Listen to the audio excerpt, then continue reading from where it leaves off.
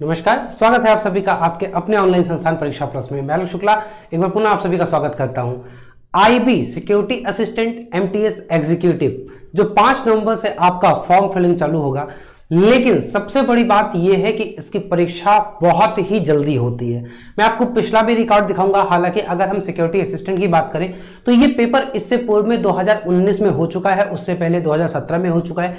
लेकिन तब ये ऑफलाइन पेपर होता था और पिछली बार 2021 से जब से आईबी ने एसी आईओ का पेपर निकाला था, तब से ये टीसीएस के हाथ में चला गया और ऑनलाइन होता है और तब से इसमें समय बिल्कुल नहीं देता। पिछली बार भी आईबी एसीआईओ वाले बच्चे बहुत ज़्यादा परेशान हुए थे। इसलिए मैं नहीं चाहता हूँ कि आप लोग इस बार ऐसी परेशानी में आओ। बहुत ही आसान जॉब है, बहुत ही कम एफर्ट में इस जॉब को ले सकते हो। पद भी सोलह है, बहुत अच्छे खासे पद हैं तो कोई चिंता वाली बात नहीं है। आपके पास क्या होनी चाहिए? बहुत बेहतरीन रणनीति होनी चाहिए, पढ़ने के लिए बहुत अच्छा कंटेंट होना चाहिए। बहुत ही बेहतरीन तरीके से आपके पास जो सोर्स हैं, उनको कवर करने के लिए टाइम मैनेजमेंट होना चाहिए। और अगर इन चीज़ आपके पास है तो आप इसे बहुत विधवत तरीके से कवर कर सकते हो सिलेक्शन ले सकते हो। तो अगर आप चैनल पर नए हो, चैनल को सब्सक्राइब ज़रूर कर लीजिए, क्योंकि इस वीडियो में समग्र रूप से मैं सारी चीज़ों पर बात करने वाला हूँ। वो चाहे किताबें कौन सी हो कोचिंग कौन सी हो टेस्ट सीरीज़ कौन सा लगाना चाहिए सेल्फ स्टडी करना चाहिए, या हमारा स्टडी प्लान कैसा होना चाहिए। और मैं सबसे सबसे बड़ी बात आपको यह बताऊँगा कि एसीआईयू का पेपर अगर कोई बच्चा दिया होगा या नहीं दिया होगा तो देखा होगा या दोनों नहीं किया होगा। तो मैं बता रहा हूँ, इस बात को आप समझ लो कि ये पेपर एसीआईओ ने तो यकीनन पूरी सब कुछ हिला के रख दिया था। बहुत ही कठिन और बहुत ही, हम ये नहीं बोल सकते कि इतना कठिन बट जो क्वेश्चन पूछने का तरीका था, वो कहीं ना कहीं एक जो स्टेटमेंट वाइज कूट वाइज जो था, वो प्रश्न उसको क्या कर रहा था? टाइम टेकिंग कर रहा था और आपको ये नहीं बोलना चाहिए कि ये पेपर केवल एक घंटे का है और एक घंटे में सौ क्वेश्चन कवर करना है। हालाँकि पैटर्न के बारे में आप सभी लोग जानते हो नहीं जानते हो तो मैं इतना बता दूँ कि इसमें पाँच सेक्शन पूछे जाते हैं। पाँच सेक्शन में आपके इंग्लिश हो गया मैथ्स हो गया रीजनिंग हो गया जीएस हो गया और जीए हो गया। अब अगर हम 2017-2019 की बात करें तो जीए में ये स्टैटिक पूछता था। लेकिन 2021 से अब यहाँ पे जो जीए का मतलब हो गया है, वो बच्चों स्टैटिक नहीं रह गया है, वो करंट अफेयर्स हो गया है। आप 2019 वाले पेपर में देखो तो करंट अफेयर्स का कोई क्वेश्चन ही नहीं था। लेकिन अगर आप 2021 के एसीआईओ का पेपर देखोगे, मैं क्यों एसीआईओ से कंपेयर कर रहा हूँ, उसका कारण ये है कि संस्था एक ही है। दूसरी बात, आपका आईबी ही दोनों पेपर करवा रही है। तीसरी बात, ये दोनों का पैटर्न बिल्कुल सेम है, जो टीयर वन है, वो एकदम सेम है। दोनों ही परीक्षाओं में तीन टीयर के होते हैं tier one tier two tier three tier one दोनों का सेम है। टीयर टू में जहाँ पे ए बी एसीआईओ में आंसर जो ऐसे राइटिंग होता है और प्रिसाइज राइटिंग होता है, वहीं पे यहाँ पे ट्रांसलेशन होता है और टीयर थ्री में दोनों में क्या होता है इंटरव्यू होता है। बस इतना सा फ़र्क है, केवल बीच के पोर्सन का और सबको सेम है। तो कहीं ना कहीं इसमें इंग्लिश आपकी ज़्यादा अच्छी होनी चाहिए और कैसे इंग्लिश आपको मज़बूत करना है, उसकी भी जानकारी मैं आपको यहाँ पे दूँगा। तो एक ही चीज़ों पर हम लोग चर्चा करेंगे। आते हैं, मैं ये आपको जो बता दूँ कि क्यों ये मैं बोल रहा हूँ कि पेपर बहुत जल्दी हो जाता है, उसका भी कारण है। जैसे पिछली बार जो एसीआईयू वाला हुआ था, वो 19 बारह 2020 आप इसे 2021 मान सकते हो, क्योंकि ये दिसंबर का महीना है मतलब आप बोल सकते हो 2021 और 2021 के जनवरी में ही फॉर्म आया, लास्ट डेट नौ तारीख थी मतलब आप देख सकते हो, दस दिन उधर, दस दिन इधर। बीस दिन का केवल समय देता है, इस बार भी आपको बीस दिन का समय दिया जाएगा। और उसके बाद देखा जाए तो एडमिट कार्ड कब आ गया था? फरवरी में एडमिट कार्ड आ गया था फरवरी में ही पेपर हो गया था। सप्ताह फरवरी में लगभग इसका क्या हो गया था? पेपर हो गया था। और पेपर होने के बाद, ये मैं एसीआईओ की बात कर रहा हूँ, इस चीज़ का आप विशेष ध्यान दीजिएगा।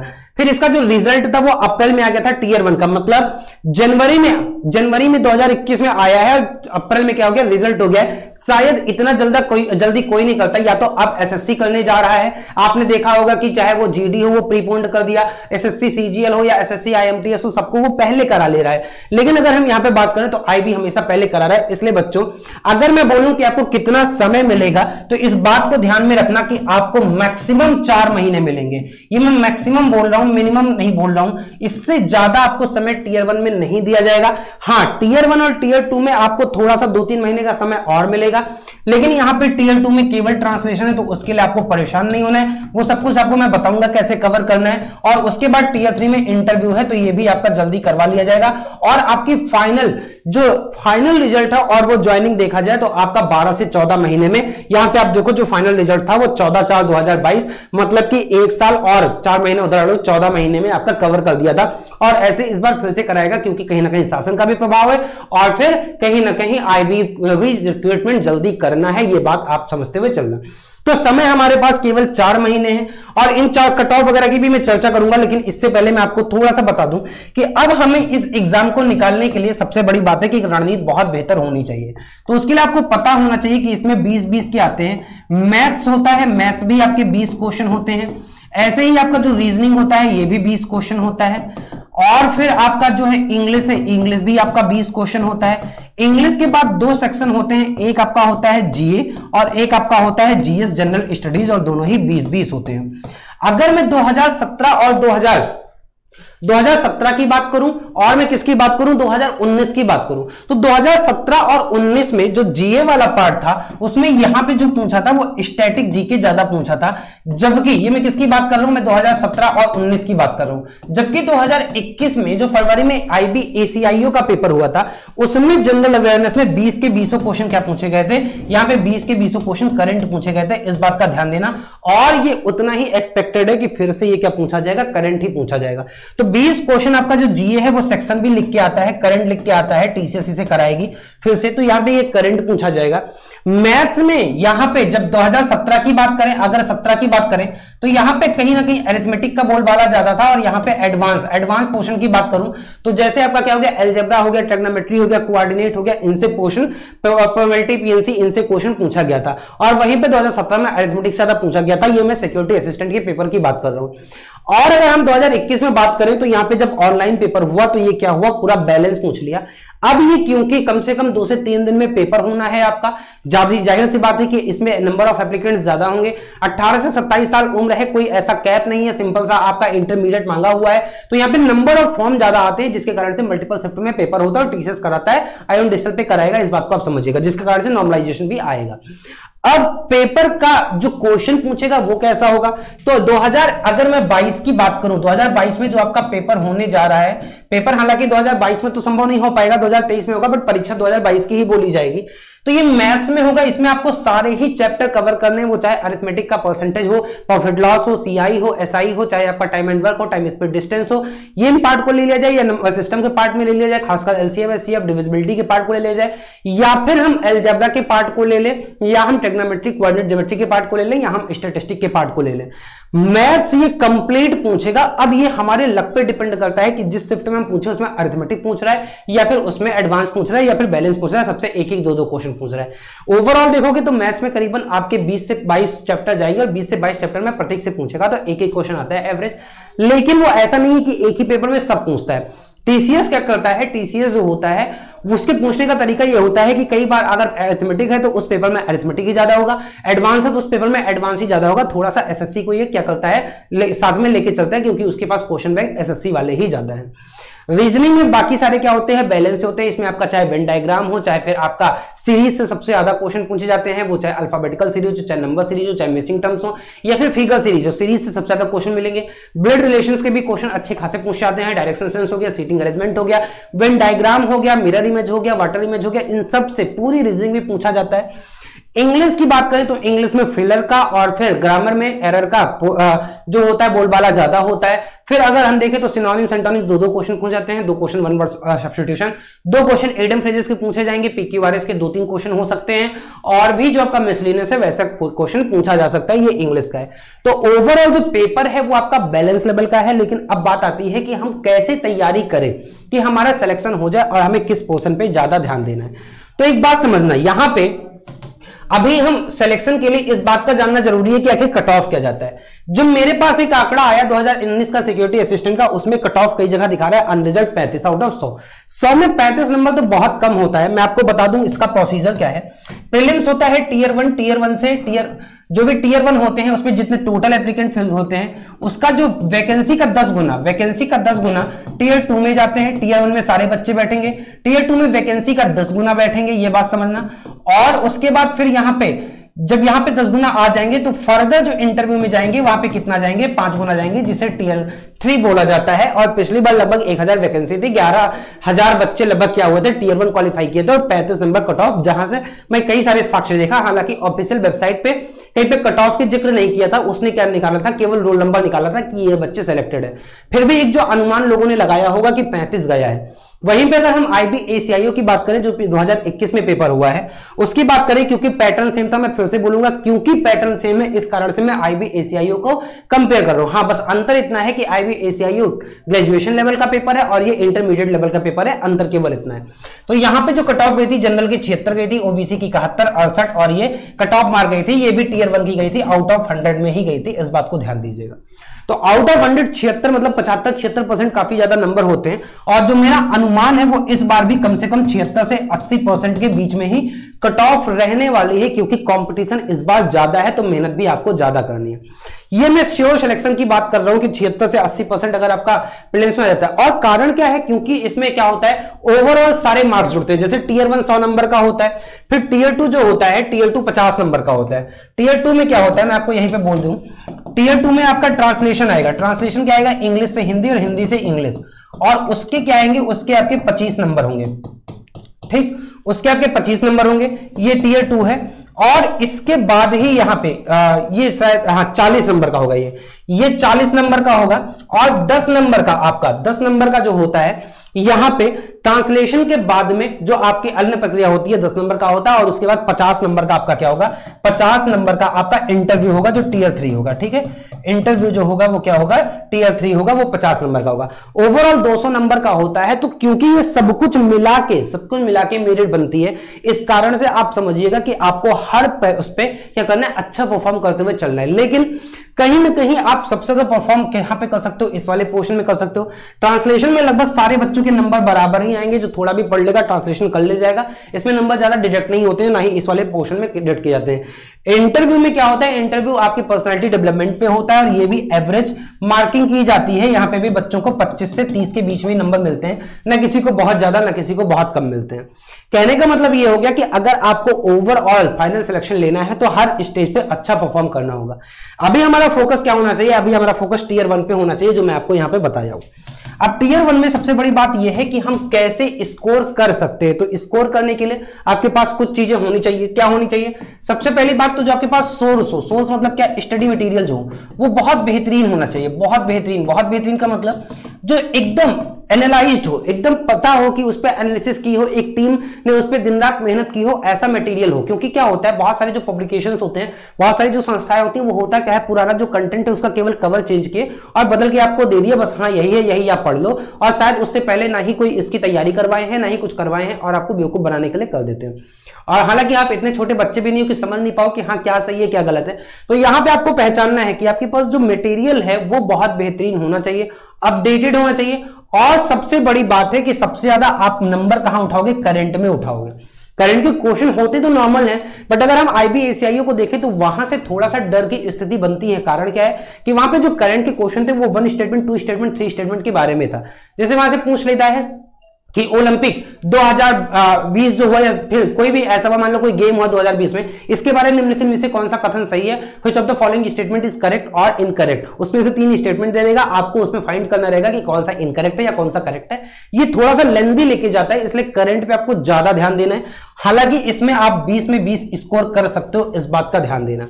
और करंट के लिए अगर हम सोर्स की बात करें तो करंट के लिए क्योंकि आपके पास समय केवल चार महीने तो बहुत ज़्यादा आप किसी यूट्यूब चैनल या उन पे रिलाई मत रहो। आप इस किस पे सबसे ज़्यादा आपको फोकस करना है, वो फोकस करना है किसी मैगजीन पे। किस पे करना है? मैगजीन पे। मैगजीन का मैं नाम भी लिख दे रहा हूँ। अगर कोई इंग्लिश मीडियम वाले हो तो क्रॉनिकल की मैगजीन फॉलो करो, या प्रतियोगिता दर्पण फॉलो करो, या इसकी क्रॉनिकल की मंथली आती है, तीस रुपए वाली आती है, मैं उसकी बात करूँगा, पतली वाली जो मंथली वाली आती है, वो करना है, मोटी वाली नहीं। प्रतियोगिता दर्पण भी आप ले सकते हो तो उसका संक्षिप्त केवल आप देखो। और जो हिंदी मीडियम वाले हो, वो घटना चक्र या घटना सार घटना चक्र की आती है मंथली या घटना सार की आती है। इन घटना सार की आती है हाफ़ ईयरली इन दोनों सोर्स पे आप करंट अफेयर्स अच्छे से पढ़ते जाओ। बाकी आपको यहाँ पे टीम परीक्षा प्लस डेली बेसिस पे सुबह करंट करवा रही है। उतना आप केवल पढ़ लो, आधे घंटे की क्लास होती है, बस आपका मोर देन सफिशियंट होगा। डेली बेसिस पे आपको पीडीबी मिलता रहता है। तो मैं ये बोल रहा था कि आपके पास स्टडी मटेरियल बहुत अच्छा होना चाहिए। टीम भी आपके लिए बहुत अच्छा बहुत बेहतरीन लेके आ रही है। जैसे सारा एकदम नया वर्क कर रही है, वो चाहे सामान्य अध्ययन का हो, वो चाहे इंग्लिश का हो, वो चाहे आपका रीजनिंग का हो, वो चाहे मैथ्स का हो, ये सारी ही चीज़ें आपको लेके आ रही है और ये बहुत न्यूनतम फ़ीस में चार सौ निन्यानवे रुपए में लेके आ रही है। हालाँकि अभी इस पर मैं फोकस नहीं होता हूँ। आपका मेन है कि एक जो सही रणनीति होनी चाहिए, वो मुझे आपको बताना है। तो क्या होना चाहिए? आपके पास एक स्टडी मटीरियल जो सोर्स होना चाहिए, वो बहुत अच्छा होना चाहिए। दूसरी बात, दो चीज़ आती है। आप सेल्फ स्टडी कर रहे हो, आप सेल्फ स्टडी कर रहे हो या कोचिंग कर रहे हो। अगर आप सेल्फ स्टडी कर रहे हो तो आप ज़ाहिर सी बात है सेल्फ स्टडी ज़्यादा कौन करता है? या तो वो वर्किंग पर्सन होता है, या फिर कहीं सेलेक्टेड होता है। ये लोग ज़्यादा या सिलेक्टेड होते हैं, या वर्किंग होते हैं, या फिर वो तीन चार साल से लगातार तैयारी कर रहे होते हैं मतलब आप ऐसा बोल सकते हो कि वो बिगनर्स नहीं होते हैं, वो कहीं ना कहीं क्या होते हैं, वो अपने उनकी तैयारी 60 परसेंट, सत्तर परसेंट पूरी हुई होती है। तो उनके लिए मैं आपको बता दूँ कि जो सेल्फ स्टडी आप कर रहे हो, आप अपना एक टाइम मैनेजमेंट अच्छा बनाओ, चाहे आप वर्किंग हो, कहीं जॉब कर रहे हो, या फिर आप अभी भी स्टडी कर रहे हो बट आपका सबसे ज़्यादा जो ज़रूरी है वो क्या है? सब, सबसे अच्छा सोर्स के साथ साथ सबसे ज़्यादा प्रैक्टिस मतलब आपके लिए टेस्ट सीरीज़ जो डेली बेसिस पे प्रैक्टिस करते रहो, वो बहुत ज़्यादा ज़रूरी है। और जो फ्रेशर है फ्रेशर है, उनको तो मैं ये बोलूँगा कि आप एक चीज़ है जो फ्रेशर होते हैं, उनके लिए कहीं ना कहीं कोचिंग बहुत ज़्यादा हेल्प कर देती है। होता क्या है, मैं ये क्यों सपोर्ट कर रहा हूँ कोचिंग का? क्योंकि जब आप नई नई तैयारी कर रहे हो तो, तो आपको यह नहीं पता होता है कि आपको क्या पढ़ना है क्या नहीं पढ़ना है और चार महीने में आपका मैक्सिमम समय जो जाता है इस बात को रिसर्च करने में चला जाता है कि हम क्या पढ़ें और कहाँ से पढ़ें और कितना पढ़ें। जबकि अगर मैं आपको बताऊँ तो सभी जितने पार्ट मैंने आपको लिखे हैं सबका अपना एक दायरा है। ठीक है मैथ्स में वो कुछ भी पूछ सकता है कुछ भी मतलब वो एडवांस और अरिथमेटिक दोनों पूछ सकता है। लेकिन ये आपकी किस्मत पे डिपेंड करती है कि किस पोर्शन में आपका पेपर आएगा और क्योंकि इसका फिक्स्ड पैटर्न नहीं है, कोई ना ही सिलेबस देता है, इस कारण से हमें पढ़ना सब कुछ पड़ता है। लेकिन उसमें भी हमें क्या पढ़ना है? अब जैसे आप परसेंटेज चैप्टर उठा लो तो परसेंटेज में तो तमाम टाइप के प्रश्न है, लेकिन हमें किस प्रकार का ही प्रश्न है? आप ऐसे समझो कि अगर सौ क्वेश्चन है, साठ मिनट में करना है तो क्वेश्चन बहुत लेंदी नहीं होगा। क्वेश्चन क्या होगा? क्वेश्चन कॉन्सेप्चुअल होगा। जब आपके पास टाइम क्या होता है? टाइम जब आपके पास कम होता है, और प्रश्नों की संख्या जो होती है, वो क्या होती है? ज़्यादा होती है। तो इसका मतलब समझ लेना कि जो पेपर आएगा वो क्या आएगा? कॉन्सेप्चुअल आएगा। क्या आएगा? कॉन्सेप्चुअल आएगा। और अगर कॉन्सेप्चुअल पेपर नहीं आया, कहीं ऐसा पेपर आपसे पूछता है, जो ज़्यादा टाइम टेकिंग है तो ज़ाहिर सी बात है सबके नंबर कम होंगे, फिर आप अकेले नहीं हो। और ये क्योंकि एक प्रतिस्पर्धात्मक परीक्षा है, एक कॉम्पिटेटिव परीक्षा है तो वहाँ पे सभी लोग अगर कठिन होगा तो सभी के लिए कठिन होगा। आसान होगा तो सभी लिए आसान होगा। इसके लिए आपसे चिंता नहीं करना है। बट अभी मैं बता दूँ पेपर कॉन्सेप्चुअल होता होगा और कम टाइम टेकिंग होगा। तो जब पेपर कॉन्सेप्चुअल बनता है तो चाहे हम मैथ्स की बात करें या रीजनिंग की बात करें, हर चैप्टर से ऊपर ऊपर क्वेश्चन पूछता है डीप में नहीं जाता, वो अपना लेवल नहीं बढ़ाता, वो मॉडरेट से टफ में नहीं जाता, वो इजी या इजी टू मॉडरेट के सेक्शन में रहता है, इस बात को समझिएगा। तो जो हमें पढ़ना है, वो हमें ऊपर ऊपर पढ़ना है, और जो पढ़ना है, वो बहुत परफेक्टली पढ़ना है। ये मैथ्स और रीजनिंग के लिए बात कर रहा हूँ। और इसके लिए आपको प्रैक्टिस भी निरंतर रूप से करते चलना है। चार महीने अगर आपके पास देखा जाए, चार महीने मैं लेके चल रहा हूँ मतलब आपके पास 120 दिन है 120 दिन में अगर छह घंटे एवरेज पढ़ोगे तो 720 घंटे मतलब अगर 720 से हज़ार घंटे आप पढ़ लेते हो तो फिर कोई रोक नहीं पाएगा आपका सिलेक्शन इस बात का भी ध्यान देना, लेकिन आपको एक हज़ार घंटे पढ़ना पड़ेगा। ऐसे कैसे भी टाइम मैनेज करो मिनिमम आप साढ़े सौ एक हज़ार घंटे आपको निकालना पड़ेगा कंटिन्यूटी बनानी पड़ेगी, तभी जाके होगा। रही बात इंग्लिश की तो इंग्लिश के लिए मैं आपको बता दूँ कि ये सबसे, ये इसमें दो टाइप के बच्चे हैं एक होते हैं जो इंग्लिश बैकग्राउंड वाले होते हैं, एक होते हैं जो हिंदी भाषी क्षेत्र से होते हैं। जैसे यूपी हो गया एमपी हो गया, बिहार हो गया, राजस्थान हो गया। यहाँ पे बच्चों को जो स्टेट लेवल के बच्चे हैं गवर्नमेंट एग्ज़ाम की तैयारी कर रहे होते हैं, उनकी इंग्लिश थोड़ी सी वीक होती है। तो आप परेशान मत हो इंग्लिश में आपको सर्विस सर बहुत विधवत तरीके से पढ़ाएँगे।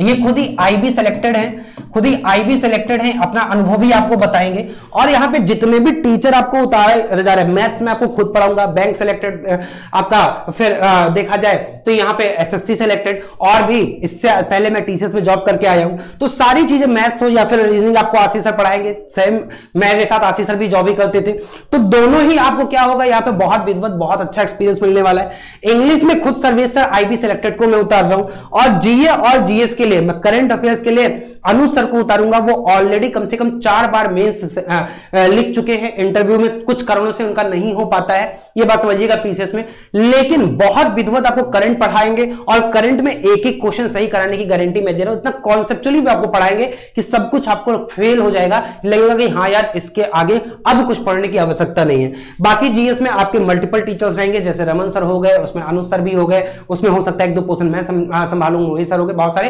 टीचर जो है वो यहाँ पे आपको जीएस में संभालेंगे। बट जीएस में मैं आपको एक चीज़ बता दूँ कि जीएस में आपको पढ़ना कैसे है। अब एक चीज़ देखिएगा कि जब यहाँ पे जनरल अवेयरनेस की बात करता है, ये सबसे ज़्यादा वेटेज कौन ले जा रहा है? आपको टारगेट कितना करना है? टारगेट करना है अभी पचहत्तर परसेंट लेके चलिए। मतलब अगर हम देखें तो सौ में कितने क्वेश्चन चाहिए? पचहत्तर।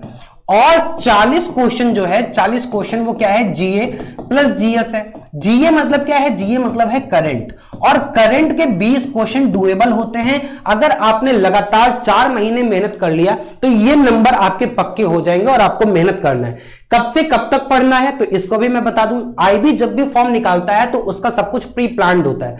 ऐसा नहीं है कि वो पहले नोटिफिकेशन निकाल देगा, फिर वो एजेंसी को ढूंढेगा, फिर वो क्या करेगा, फिर वो पेपर बनवाएगा। नहीं, उसका पेपर बन चुका है। उसने एजेंसी क्लियर कर लिया है। अब उसको सारा ब्लूप्रिंट तैयार है, अब उसे केवल एग्जीक्यूट करना है? इसका मतलब ये कि अगर आपका पाँच नवंबर से फॉर्म फिलिंग चालू है तो नवंबर, दिसंबर छोड़ के हो सकता है आपका फरवरी में क्या हो जाए पेपर हो जाए। और अगर फरवरी में पेपर हो जाएगा तो इसका मतलब ये हो गया कि पिछले जुलाई से, पिछले जुलाई से, जुलाई 2021 से लेके और जनवरी आपका दो 2021 कह रहा हूँ 2022 से लेके जनवरी 2023 तक का आपको करंट पढ़ना है। और इसके लिए हिंदी मीडियम वाले जो घटना चक्र है, घटना चक्र की जो आपकी वार्षिकांक आती है, ये आप रट डालो। ना मिले तो घटना सार का जो अर्धवार्षिकांक आता है, ये आप रट डालो। और रट डालो मतलब रटा होना चाहिए, क्योंकि अगर आप ये नहीं कर पाओगे तो यकीनन आप फॉर्म मत भरो। अभी फॉर्म नहीं भरा जा रहा है। टफ कंपटीशन है। हालाँकि पद बहुत अच्छे हैं कंपटीशन टफ है, लेकिन अगर आप तरीके से पढ़ ले तो उतना आसान भी है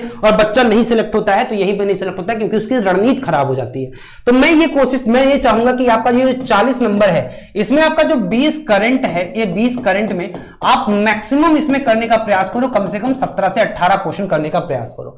बाकी जो जीएस वाला पोर्सन है जीएस में दो टाइप का होता है, एक पारंपरिक होता है और एक क्या होता है, एक आपका जो करंट से रिलेटेड होता है। अब यहाँ पे भी जीएस में, अगर आप करंट यहाँ पे मज़बूत करोगे तो यहाँ पे स्टैटिक वाला जो पार्ट है, वो क्या करता है? टीसीएस की मैं बात बता रहा हूँ टीसीएस करंट से रिलेटेड स्टैटिक पूछता है। और पिछले पेपर में भी देखा गया है, सात से आठ क्वेश्चन स्टैटिक का करंट से रिलेटेड था।